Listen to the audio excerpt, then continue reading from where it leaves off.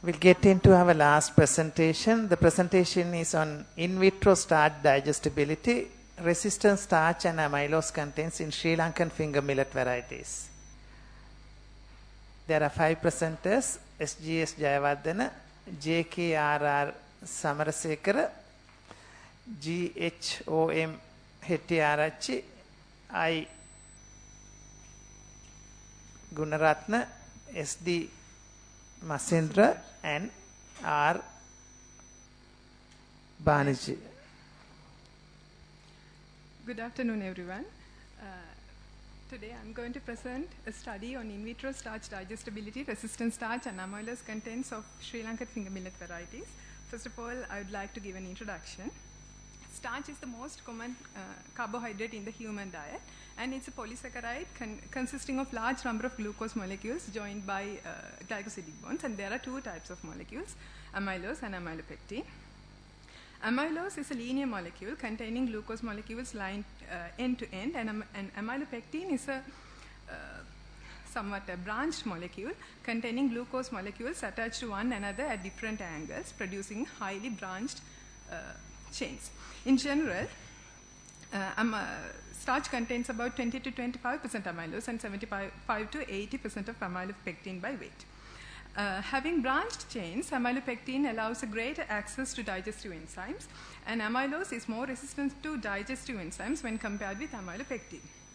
Therefore, the ratio of amylose to amylopectin affects the digestion of starch. Uh, on the basis of its digestibility, starch can be classified into three groups rapidly digestible starch, slowly digestible starch, and resistant starch.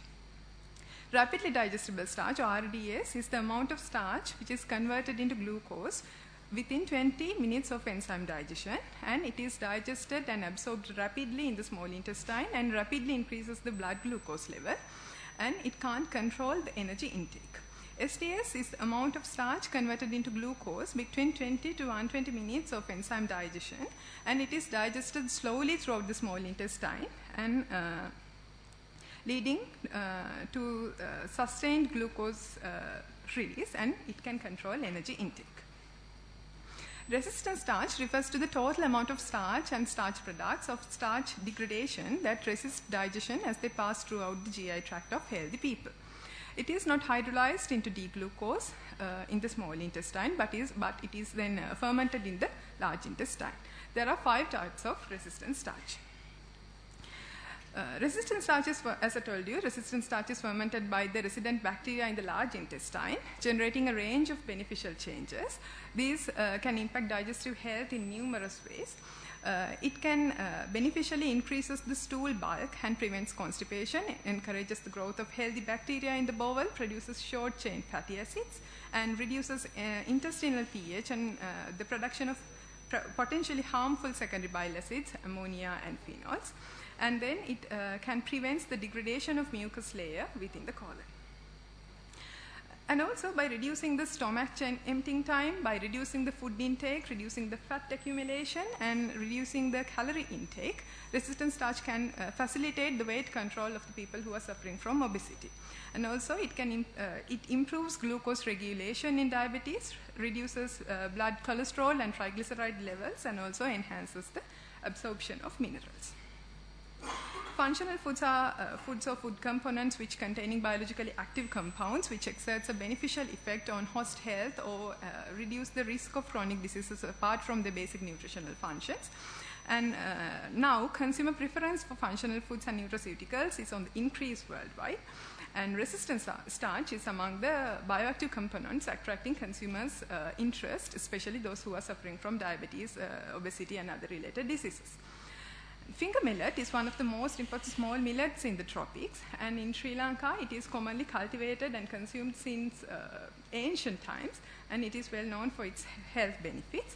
So, considering all these facts, uh, the objective of this study was to determine the in, in vitro starch digestibility, resistant starch contents, and amylose contents of Sri Lankan finger millet varieties. Now, let's see the materials and methodology. Samples of locally grown finger millet varieties recommended by the Department of Agriculture, namely Ravi, Ravana, and Oshada, were collected from Field Crop Research and Development uh, Center, Mahailluppallama.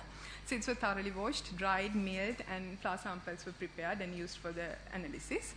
And this is a method which was used to determine RDS and SDS contents. I'm not going to uh, describe the steps. And this is the method which was used to determine the resistant starch content. And in both methods, finally, glucose contents were uh, determined using the GOPOD assay. And there, uh, cornstarch was used as the control, and the uh, anhydrous D-glucose was used to uh, plot the standard curve. And these equations were used to calculate RDS, SDS, total starch, and resistant starch contents. And to determine amylose contents of starch, first starch was isolated using this uh, method, and then amylose content was determined using this method. And data were statistically analyzed. Now let's see the results and discussion.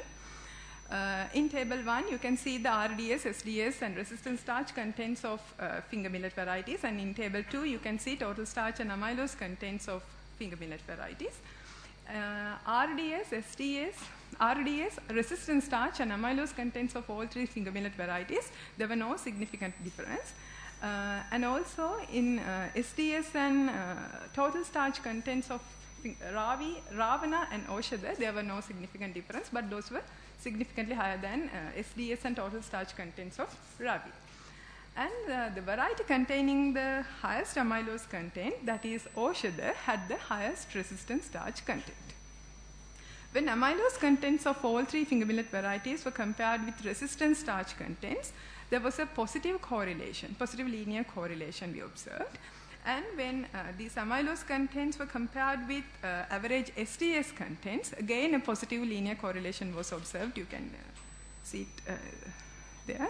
And there were no correlation between amylose and uh, RDS contents.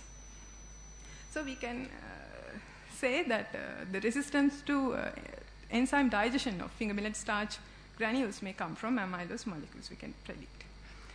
And we have come to the conclusion there were no significant differences among resistant starch and amylose contents of the three finger millet varieties, and the resistance to enzymatic digestion of finger millet starch granules may come from the amylose molecules. And because of the resistant starch content, there is a potential of using Sri Lankan finger millet varieties in developing functional foods which are rich in resistant starch. And here are some of my references. And I would like to acknowledge financial assistance from Indian Sri Lankan Intergovernmental Science and Technology Cooperation Program. And thank you all for listening. Thank you very much for the interesting presentation. Now it's time for discussion.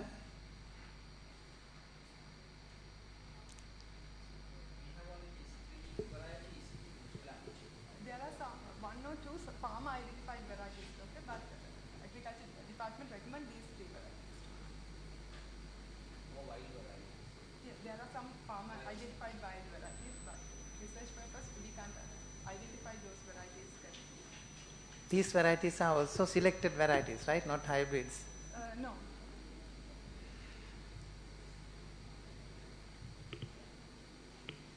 How did you mill the samples or did you purchase it from the market? no, no, we collected from uh, Field Crop Research and Development Center, Mahailuppalam. The finger millet sample or did you mill it? We got the seeds. You got the seeds. Yeah, we got the seeds and then we make the flour. Okay. Because one area where you have to be concerned is that milling. If you mill it too much, you remove some of the fiber. Yeah. So you We have to make the control the, milling. Yeah. It's just like milling rice. Rice you can see when you mill it, when you polish it to a higher degree, you can see it. But finger millet you can't see it. You just remove the outer layers. Yeah.